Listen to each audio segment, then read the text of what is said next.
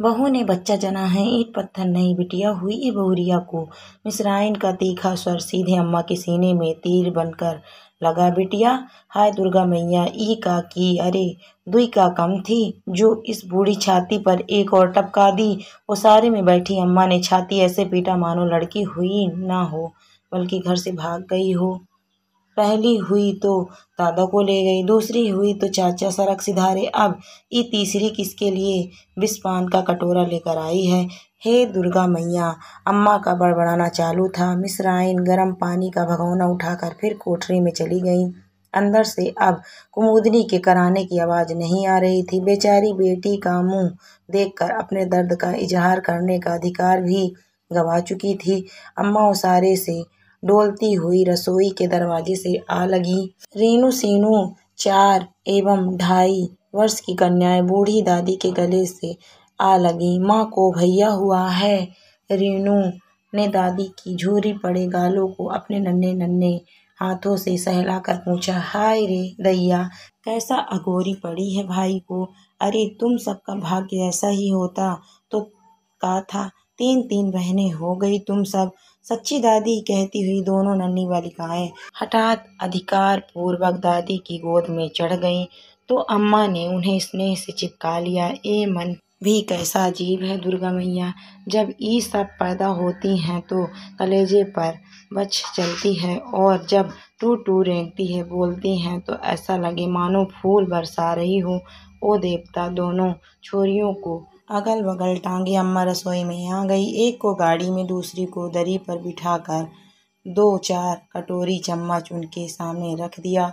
Gas जलाकर उस पर कढ़ाई चढ़ा दी, हरीरा पकने लगा, जतन से इकट्ठा किए देसी घी का छौंक लगाकर हरीरा पकाने लगी।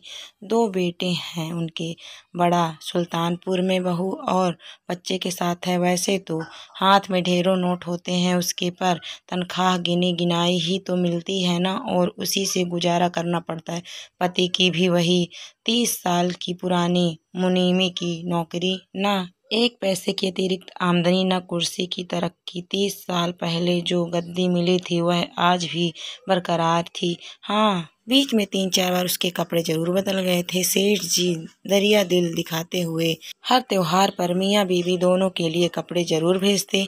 अम्मा की बड़ी अभिलाषा थी कि छोटे बेटे को एक बेटा हो जाए। आज सुबह भी जब संदीप काम पर जा रहा था, उनका मुँह सूजा हुआ था। भोली अम्मा को कौन समझाता कि बेटा पैदा करना संदीप या कुमुदनी के हाथ में नहीं है और न ही इसके लिए पूरी तौर पर। कुमुदनी जिम्मेदार है। अरे बहू जी, बहुरिया को कुछ खाने को तो दे दो। मिसराइन का तीखा स्वर फिर कानों से टकराया। चाय ही बना दो। चाय, अरे बच्चा जना है। बहू ने ईट पत्थर नहीं जो चाय दे दूँ। अम्मा ने मुँह बनाकर कहा तो मिसराइन ने घाव पर मरहम लगाना चाहा। सब्र करो बहू जी। अगली बार तुम्हारी दुर्गा मैया ज़रूर बेटा देगी।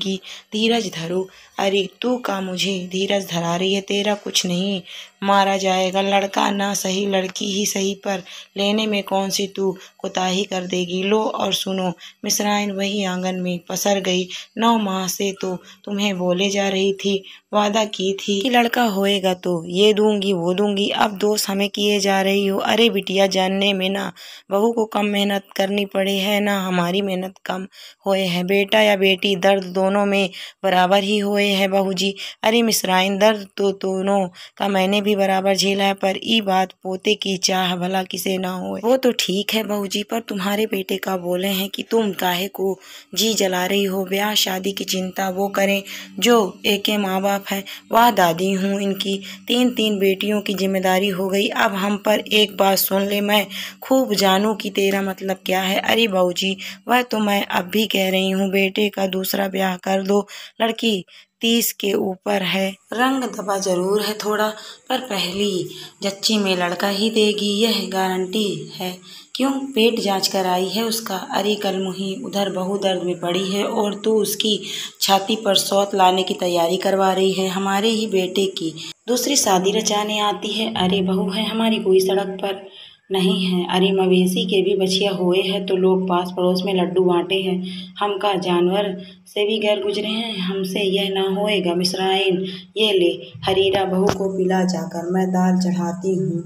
बहू ने जल्दी जल्दी बच्चे जने हैं, उसे कमज़ोरी आ गई है। बहू अगर बीमार पड़ी तो तेरी खैर नहीं, अम्मा बड़बड़ाती रही। वाह जी, मनुष्य जानवर तो छोड़, कोठे वाली की भी बिटिया होए तो दस तोले की सोने की पाव जेब बजे है और हम बेटे के पीछे भागे जा रहे हैं। अरे, इसमें बहू की क्या गलती है? जो दुर्गा मैया दे दे, अम्मा का बड़बड़ाना चालू था और उसकी बातें सुन दरवाजे पर खड़े उनके पति विश्वनाथ बाबू बेटे संदीप के कंधे पर हाथ धरे, आश्चर्य से खड़े रह गए। सुबह तक तो पत्नी ज्वालामुखी बनी, बहू को घूर रही थी और अब अचानक से ये ममता का दरिया कहाँ से फूट पड़ा है? उन्होंने संदीप की पीठ थपथपाई और मुस्कुरा पड़े। वाह हरी नारी, तेरे मन में क्या है? कुदरत भी नहीं जानता। दोस्तों, कहानी आपको कैसी लगी? कमेंट करके ज़रूर बताइए। कहानी अच्छी लगी तो वीडियो को लाइक, शेयर करें। अगर आप मेरे चैनल पर नए हैं तो प्लीज़ मेरे चैनल को सब्सक्राइब भी करें। Thank you for watching my video.